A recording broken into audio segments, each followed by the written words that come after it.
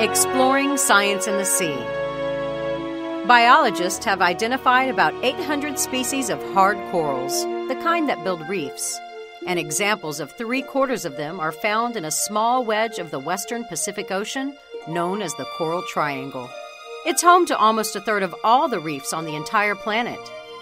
The Coral Triangle covers more than 2 million square miles, from the Philippines to Indonesia and east to the Solomon Islands, northeast of Australia.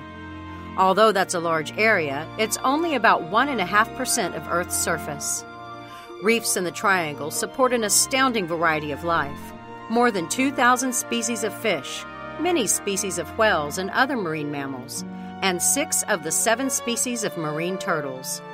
This abundance has earned the region a nickname the Amazon of the Seas. Like most reefs, those of the Coral Triangle are challenged by human activities. They're damaged or destroyed by pollution and by dangerous fishing practices, such as using dynamite or cyanide. Warmer ocean waters cause bleaching events that kill reefs. Climate change also makes the oceans more acidic, which makes it tougher for corals to build reefs. Some research, though, has suggested that the reefs of the Coral Triangle aren't suffering as much as those in other areas. In part, that may be because many of the reefs are in darker, muddier waters, where conditions reduce sunlight and slow down the rise in temperatures compared to more pristine waters, protecting life in the Amazon of the seas.